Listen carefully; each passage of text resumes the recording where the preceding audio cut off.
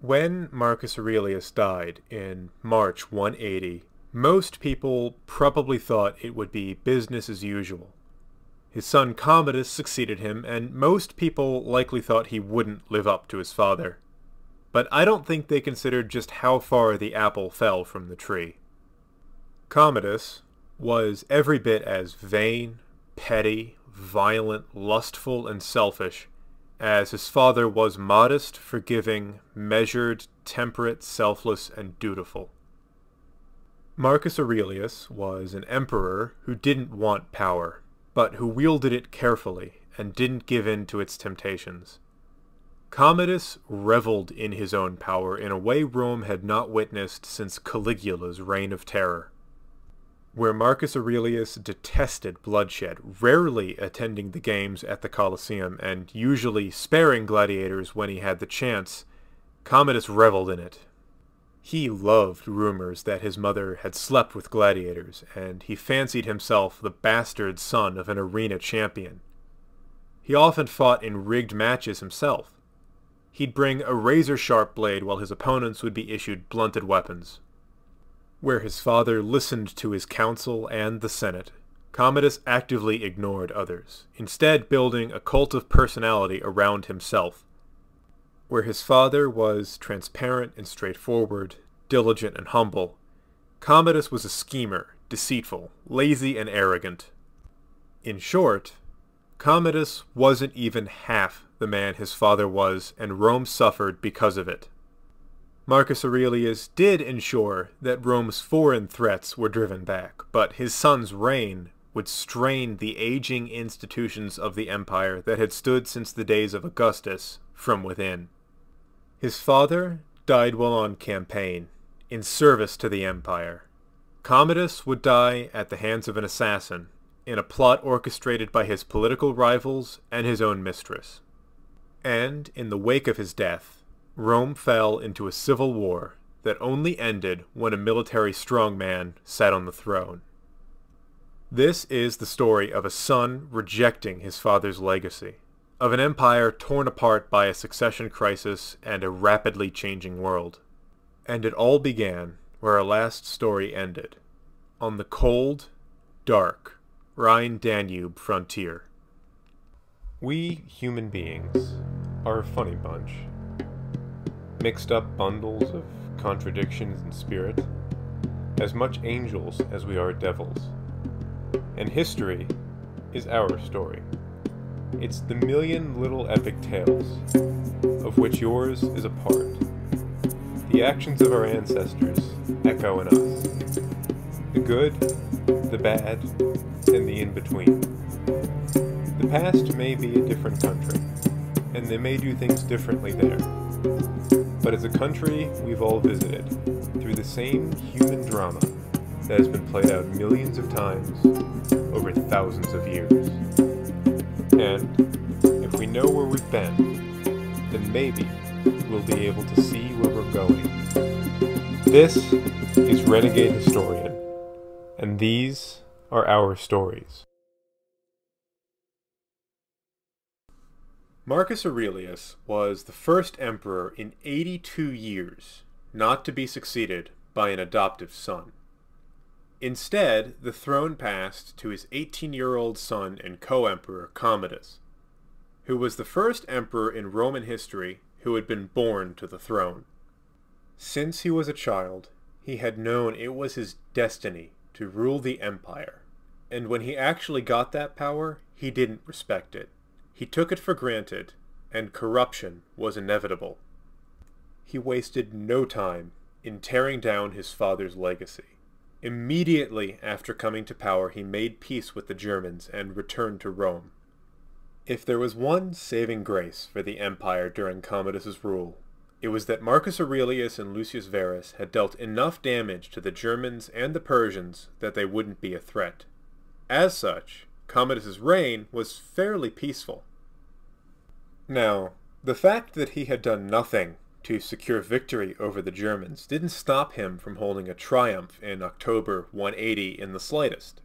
He changed his name from Lucius Aelius Aurelius Commodus to Marcus Aurelius Antoninus Commodus, and then turned over his responsibilities as emperor to a collection of friends, cronies, and allies. Chief among them was a Nicomedean freedman called Soterus. That said, the corruption and scheming endemic in Commodus's reign can't be blamed entirely on him. His elder sisters and their husbands were all rivals to the teenage emperor, and orchestrated many a plot against their younger brother. The first was in 182, when Lucilla attempted to have her brother killed by two men who may have been her lovers. Marcus Umidius Quadratus Annianus and Appius Claudius Quintianus tried to do Commodus in as he entered a theater, but they messed up and were captured by his bodyguards. Both men were killed, and Lucilla was exiled to Capri, and later killed. Her husband, Pompeianus, who knew nothing of the plot, still retired from public life. One of Commodus's praetorians was in on it too, and his involvement wasn't discovered until after he had the opportunity to kill Soterus. The emperor was hit hard by his death, but he quickly replaced him with Sextus Tigidius Perennis, one of Soterus' own murderers. Commodus also took on a new chamberlain in Cleander, who was Soterus' other murderer, except for the traitorous Praetorian who had taken the fall for the both of them, of course. And that was just the first two years of Commodus's reign.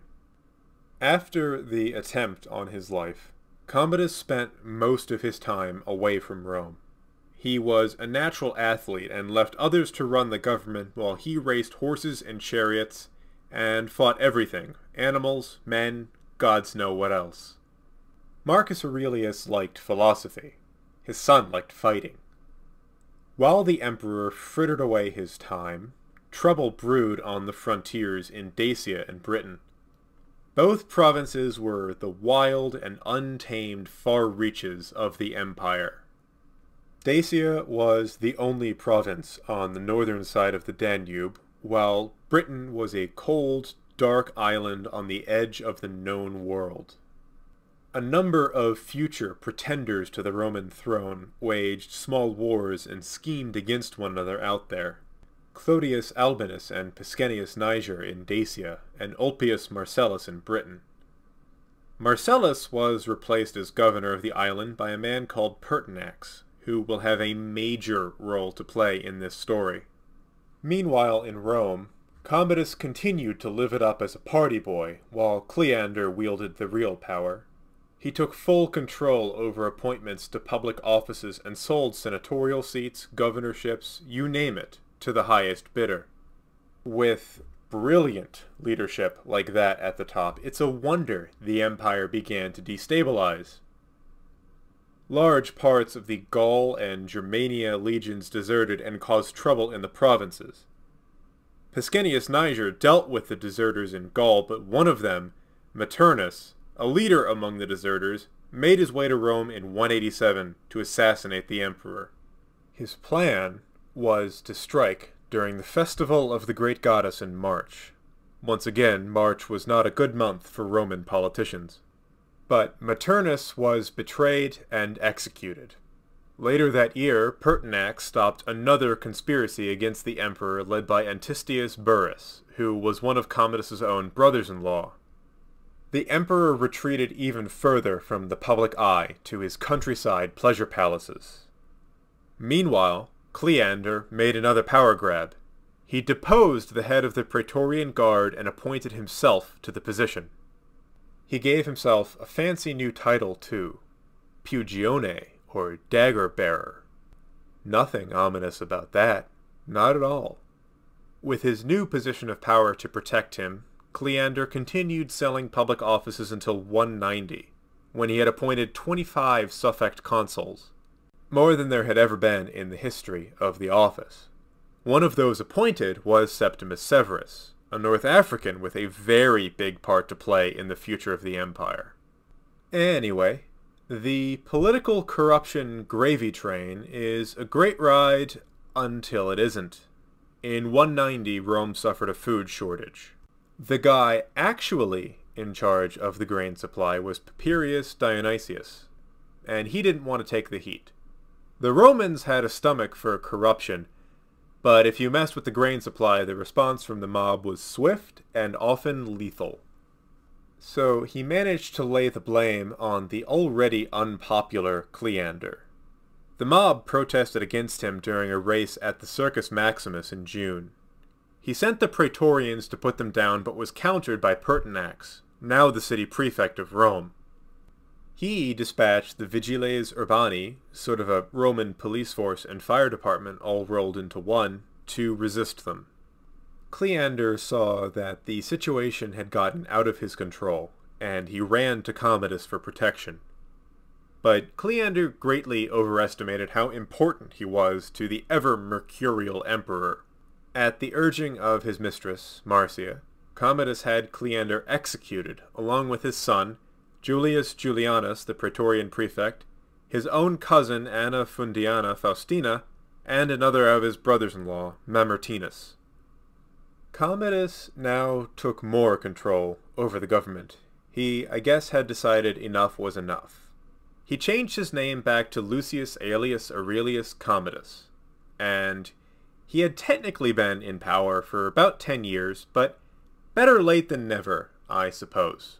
He also picked up a new chamberlain called Eclectus and replaced Julius Julianus with Quintus Aemilius Laetus as his new praetorian prefect. And it was here that his reign really went off the rails.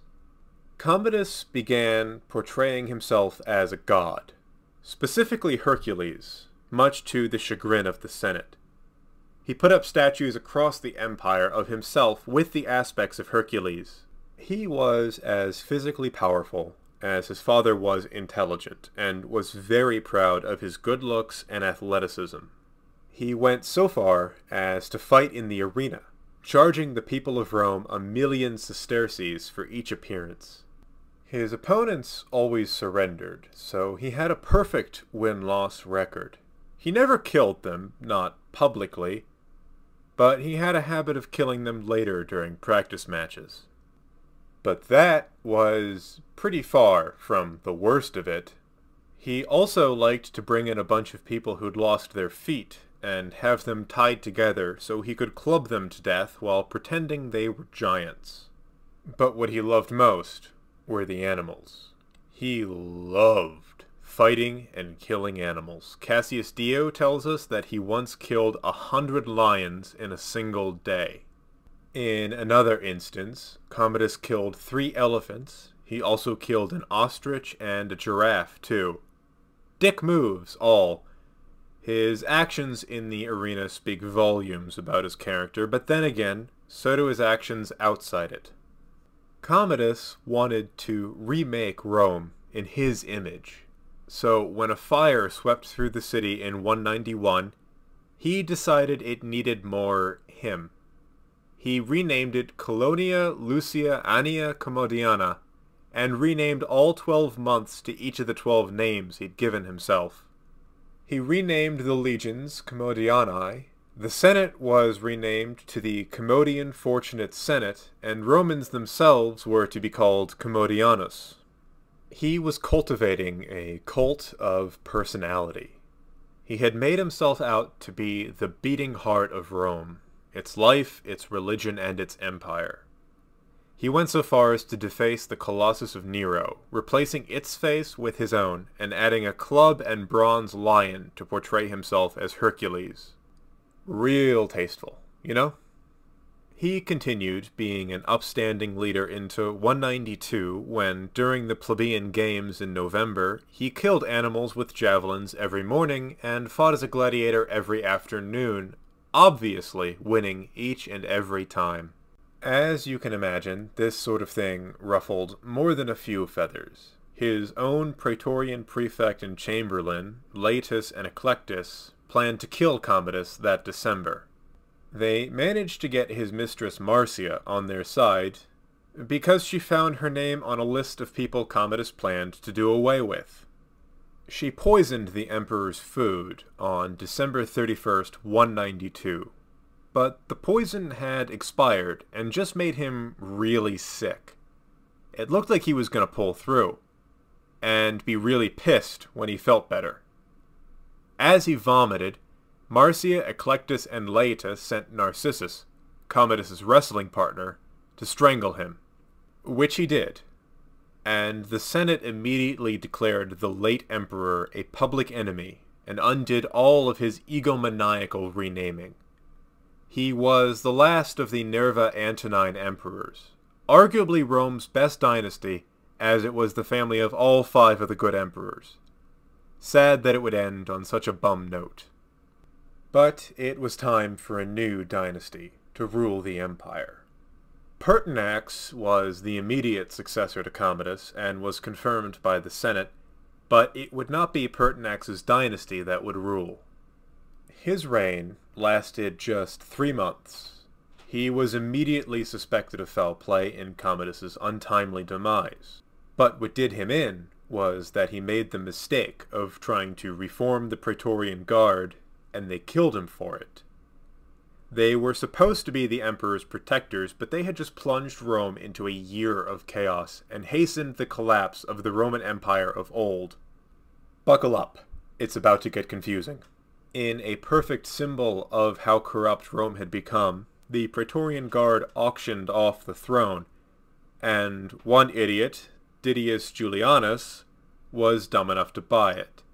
He briefly succeeded Pertinax, but was accused of being responsible for Pertinax's murder. The three nearest generals to Rome used the illegitimate means that Didius Julianus had used to procure the throne as an excuse to launch their own bids for power. This is where Septimus Severus comes in. He was closest to Rome, and as he approached the city, a soldier assassinated Julianus and Septimus Severus took the city. But the people who liked Julianus reached out to Pescennius Niger, who also made a bid for the throne. After Septimus Severus took the city, Pescennius Niger used his allies in the eastern part of the empire to fight Septimus for the next two years. Clodius Albinus was the last of the five emperors. He was in control of Britain in 193 and was actually offered the throne when Commodus died, but turned it down. He was an enemy of Septimus Severus, but agreed to a treaty with him that gave Albinus control of Gaul and Hispania, along with the title of Caesar, in exchange for helping Septimus fight Pescennius. Once Pescennius was defeated, Albinus continued on in his role as Caesar for a little while, but ultimately he and Severus fought a civil war for three years that Severus won, leaving him the last emperor standing. When the dust finally settled from the Year of the Five Emperors, Rome was left with a different kind of emperor for a different kind of empire. The Pax Romana was well and truly shattered. Severus was capable and competent, but lacked Marcus Aurelius's vision and wisdom.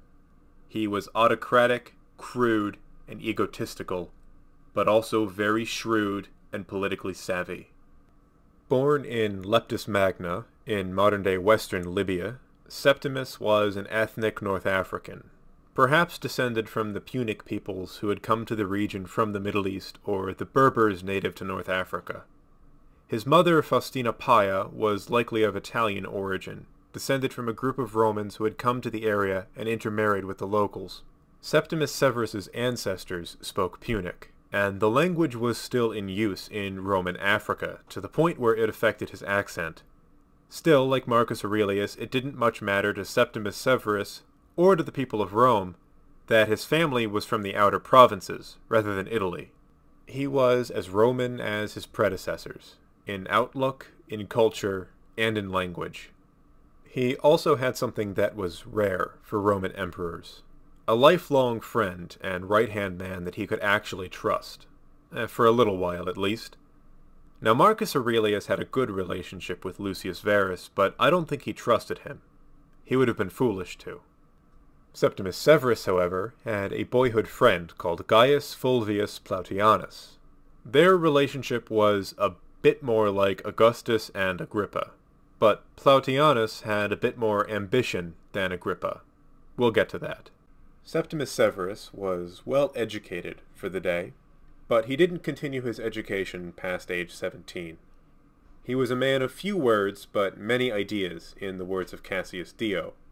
A man of action, not of thought. Blunt and energetic. Some called him ruthless and a liar, but he preferred to think of himself as ambitious. Where Marcus Aurelius had had an interest in philosophy, Septimus Severus had an interest in the law. What's more, he was a pretty good lawyer by all accounts. He once managed to defend himself in court against charges of adultery, but that's a whole different story, from a time before he met his wife, Julia Domna, a noble woman from Roman Syria. Like Septimus, her family was native to her home region, they spoke Aramaic, Latin, and sometimes Greek, but looked at themselves as Romans. The two married in 185, and were very much in love with each other, by all accounts.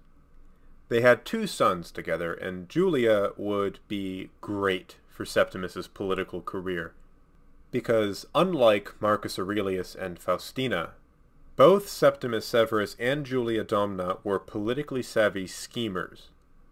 Julia was also an intellectual. She kept a circle of philosophers, mathematicians, and jurists around just to talk ideas with them. But enough about who Septimus Severus was.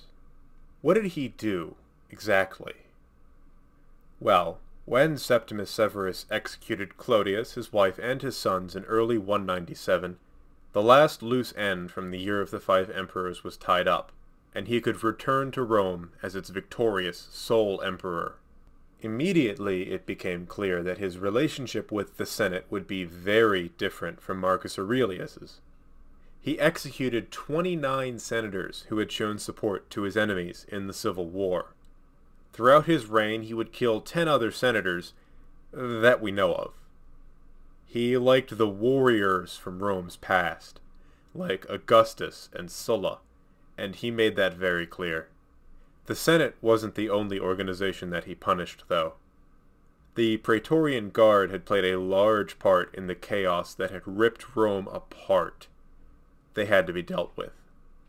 Severus executed hundreds of Praetorian Guards and replaced the traditionally Italian guardsmen with foreign-born recruits.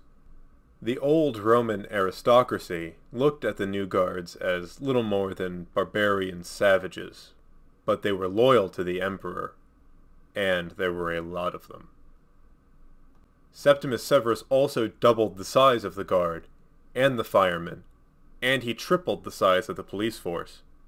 He also had a camp built for his legions just south of Rome, tripling the men near the capital from 11,500 to 30,000 men. For Septimus Severus, there was to be no division between the army and the state. But his reforms didn't stop there. The army hadn't really been reformed since the days of Augustus and sorely needed some attention. First, he gave the legion a pay raise, but debased the currency to do it. Both Marcus Aurelius and Commodus had done the same, and Rome would have to pay for it in the future.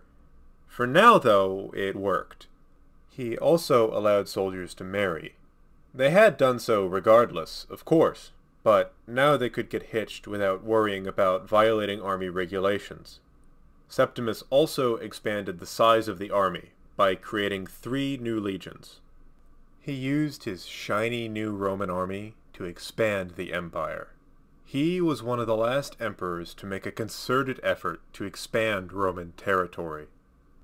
Rome was a superpower that was in the process of switching from an offensive to a defensive footing, and he sought to restore Rome to her glory days under Augustus.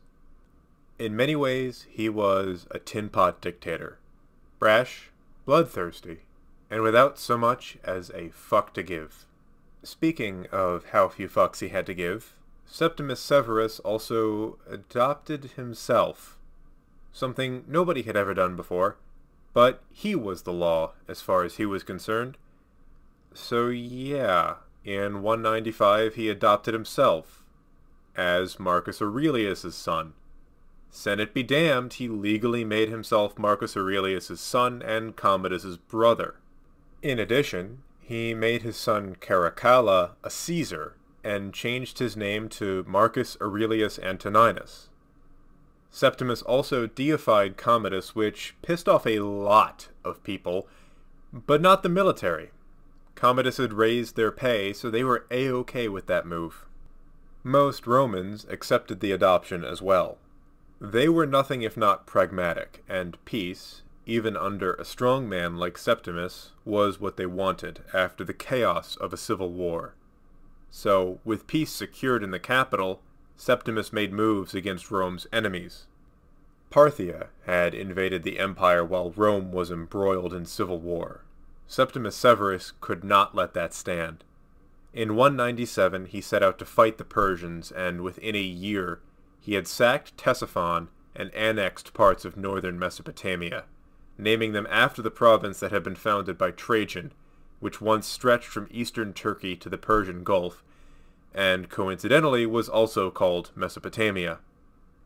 It wasn't as big as it used to be, but the province was a colossal propaganda victory for the emperor. He had taken Ctesiphon on the anniversary of Trajan's ascension to the throne on January 28, 98 AD. He took the opportunity to name Caracalla as his co-emperor, but his victory in 198 showed that this was a very different empire. The new province stretched Rome's resources to the breaking point, and Septimus Severus had to spend four years settling things in his new province. He finally returned to Rome in 202. The emperor's health was failing him, but he still turned right back around to go on a tour of his home province and city in North Africa. He spent lavishly, building Leptis into the jewel of the North African coast. He built numerous monuments and statues that still stand to this day. When the imperial family returned to Rome in 203, Septimus Severus launched a building program and held numerous festivals. The most prominent building project was a new triumphal arch devoted to himself and his son Caracalla. He built it right near Augustus's triumphal arch in another attempt to link himself with his predecessor. But aside from self-aggrandizement, Septimus Severus also rebuilt several temples and other buildings that had been destroyed in a fire, and expanded the imperial palace. He also held games in 204, celebrating another century of the glorious empire, and declared Rome the most holy city, which is kind of funny given the city's religious history moving forward. But all was not well behind the scenes. The emperor's right-hand man and boyhood friend, Plautianus, had slowly been building his own aspirations to the throne. He'd made powerful friends, and as prefect of the Praetorian Guard, he was in a position to cause a lot of trouble. In 202, he married his daughter to Caracalla, and began making plans to usurp the throne altogether. But as so often happens in situations like this, Plautianus overplayed his hand. People talked about his ambition. He put up more statues of himself than Septimus, and in 205 it backfired. Caracalla, then 16, successfully accused Plautianus of conspiring to kill the emperor. He had Plautianus executed on January 22, 205. He then divorced his wife and exiled her to a remote island. Caracalla didn't mess around, as his brother Geta would later learn. Plautianus and Caracalla's wife were erased from public structures and statues. Their faces were marred beyond recognition or otherwise resculpted. And Caracalla would soon get a taste of real power. In 208, Severus took the whole family to Britain with the aim of conquering the peoples north of Hadrian's Wall. But much like the Germans, these Celts refused to fight the Romans on their own terms.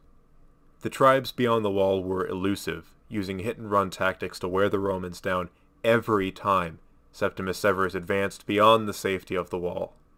Domna came with him every time as the mother of the camp, and his sons aided him in command. But by 211, his life was catching up with him. Tired, stricken with gout, and disappointed in his failures in capturing Scotland, the emperor died on February 4th, 211, in Eboracum, modern-day York. He was about as far from home as a Roman emperor could have been. The sunny shores of the North African coast, likely a distant memory under the steel-gray skies of chilly northern Britain. He was buried in Hadrian's tomb, his ashes resting with another of Rome's greatest rulers. The throne passed to his sons, Caracalla and Geta, but sibling rivalry didn't even begin to describe the relationship between those two. Their relationship immediately became even more antagonistic than it had been. After making peace with the Caledonians, they spent the entire trip back to Rome arguing, and they even considered dividing the empire between them, but their mother persuaded them not to. She did her best to keep her sons from killing one another. But on December 26th to 11, at a meeting Julia Domna had arranged to reconcile her sons, Caracalla had his brother assassinated by the Praetorian Guard, and then launched into a purge of all of Geta's supporters, Caracalla had his brother's likeness systematically removed from all statues, frescoes, paintings, everything. All coins bearing Geta's image were melted down. His name was struck from all records, and it became a capital offense to speak or write his name. In all 20,000 people were executed on such charges. And after a violent act of fratricide like that, what did Caracalla do? Well, he went on to construct the second largest bath complex in Rome, which still bears his name today. I've been to them and they really are beautiful, some of the best surviving baths in the city. While his building projects were nice, he also debased the currency severely. When his father died, Roman denarius were 55% silver. By the end of Caracalla's reign, it had been reduced to 51% people began hoarding older coins with higher silver content, which caused inflation to worsen significantly. Caracalla introduced a 52% silver coin called the Antoninianus, which was meant to be a double denarius, but it was really only worth 1.5 denarii. He then used this debased currency to give the legion a pay raise, ensuring their loyalty. Turns out the money printer go brrr meme is a lot older than we all thought. But the most significant of Caracalla's decisions while in Rome was the 212 Constitutio Antoniana, or the Edict of Caracalla, which extended Roman citizenship to all free men in the empire's borders. The expansion of citizenship had two functions for Caracalla. One, it extended taxation to all those new Roman citizens, boosting the state's revenue. Two, it gave Caracalla a lot of support in the provinces, which were becoming increasingly critical to Rome's security and prosperity. After the whirlwind of activity that followed Caracalla's purging of his brother, the emperor left Rome in 213. He would never return. He first went to the Rhine frontier and waged a successful campaign against the Germanic tribes there, namely the Alemanni Confederation, which had broken through the border and raided Roman territory. They were mostly subdued by 214, and he reinforced the border fortifications to keep them that way. While he was away at war, Julia Domna became an integral part of Caracalla's administration. He hated the day-to-day aspects of ruling and let his mother handle a lot of them. Most critically, receiving petitions from the people and answering correspondence. Even so, the final legal authority rested in Caracalla, so she had to get the actual decisions from him. After the campaign in Germany, Caracalla went on a tour of the provinces and developed an obsession with Alexander the Great which may have inspired his decision in 216 to go to war with Parthia. That year, he aggressively attacked Parthia's borderlands with Rome, and offered the emperor a proposal of marriage between himself and Artabanus V's daughter. The Parthian emperor unsurprisingly refused, and Caracalla used it as an excuse to invade. The emperor launched attacks on the Tigris countryside in the spring and then returned to Edessa in modern-day southeast Turkey in the winter to prepare for the next campaign. While he was there, in early 217, the emperor briefly stopped to have a pee when he was approached and stabbed by a disgruntled legionary who'd been passed up for promotion to centurion. With the emperor lying dead in a pool of his own blood and urine, a man called Macrinus, the praetorian prefect, declared himself emperor with the backing of the Roman army. The Senate soon confirmed him as emperor, but he refused to go to Rome, which turned the city against him. It wasn't by choice, though. He had much larger problems to deal with in the east. Caracalla had left the empire's treasury empty, and there was an ongoing war with Parthia. Macrinus did manage to bring an end to that, and then he began trying to implement monetary reforms. He tried to revalue the currency, boosting the silver purity of Roman denarii to 57% by the end of his reign. He also reduced the pay for new recruits in the Roman army, and that's where things went wrong for him. The veterans in the army turned against the new emperor, foreseeing the reduction of their own pay and privileges.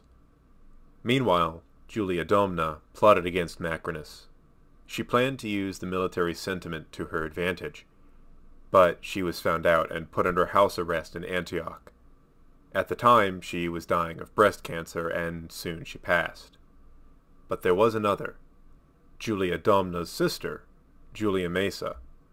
She set her son Elagabalus up as a rival to Macrinus, claiming he was Caracalla's bastard. Mind you, she was the late emperor's aunt, so that would have been beyond creepy. Still, on May 16, 217, Legio III Gallica proclaimed the boy as emperor, and he, quote-unquote, led a revolt. Realistically, at 14, he was largely under the control of his mother. Macrinus fled and tried to reach Rome, but was captured in Chalcedon and executed. His head was sent to Elagabalus, and the Senate proclaimed the teenager emperor, which went about as well as you might expect. Elagabalus did what any 14-year-old would do with access to unlimited amounts of money and power. And things got weird. He had sex with dozens of men and women. He took four wives, including one Vestal virgin, which was a sacrilege, mind you, and he lavished gifts on his lovers. He might also have prostituted himself, and that's not even going into his religious weirdness. He pissed everybody off, including the Praetorian Guard. Sensing the waning support for her son, Julia Maesa turned to her daughter, Julia Avita Mamea, and her son, the 14-year-old Severus Alexander. The boy quickly became favored by the Praetorians, and Elagabalus made numerous attempts on his life. But on March 11, 222, again, March, the Praetorians killed the 18-year-old emperor, and most of his associates and lovers were also killed. His policies were immediately repealed, and Severus Alexander was proclaimed emperor. After the chaos of Caracalla, Macrinus, and Elagabalus, Rome was eager for some peace and stability, but at the start of the teenager's reign, it seemed Severus Alexander wouldn't be able to bring any. Rome faced incursions from both Parthia and the Germanic tribes. The empire's finances were in shambles, and the people were pissed off. Understandably so. And here was the youngest emperor in Roman history up to that point. But over the 13 years of his reign, Severus Alexander would prove to be the best of his dynasty since Septimus Severus himself. With his mother's help, Severus appointed a number of jurists to rehabilitate a justice system run roughshod over by a succession of tyrants. He also instituted a new council to assist the urban prefect in the capital and refurbished many buildings in the city including the baths of Nero, he also successfully restored the Roman currency. Its purity had fallen to just 43% silver by the time he came to the throne, but in 229 he revalued it and boosted it to 50.5% silver. He also lowered taxes, which encouraged the development of literature and art, and he opened loan offices to allow Roman citizens easier access to credit. I've said it once, I'll say it again. Rome was very ahead of its time. Its economy is far closer to a modern nation's than pretty much anything before its time or for centuries after its fall. But Severus did more than nurse the economy back to health. He also attempted to integrate the growing Christian minority into Roman life by building a temple to Jesus in the capital. However, Rome's pagan priests persuaded him not to, he did manage to get a synagogue built in Rome, though. Finally, he expanded the rights of soldiers, allowing them to name anyone as their heir. Ordinarily, there were strict laws around that, but now soldiers had more freedom. A young recruit could send what money he did have back to a mother or father, even a sibling if he was killed. The property rights of soldiers were reinforced as well. In all, the kid was doing a great job until the Persians invaded, under the command of Ardashir I in 231. They quickly overran Mesopotamia and then pressed on into Syria and Cappadocia. The Roman army was beaten back in several battles. When the young emperor showed up, he launched a three-pronged invasion of Persia from Antioch, which didn't go well. The southern thrust through Babylon was surrounded and slaughtered by Persian horse archers. The central force, led by Severus Alexander himself, retreated after a number of indecisive battles. The northern force did well in mountainous Armenia, where the Persians couldn't use their superior cavalry. But once winter set in, they took severe losses due to attrition. The generals commanding those legions had not set up the necessary supply lines. Rome's armies had become undisciplined and ineffective. The world-famous discipline and logistics that had made the Roman army the world's finest military machine were a thing of the past. The Persians had been checked, but the outcome of the war was indecisive.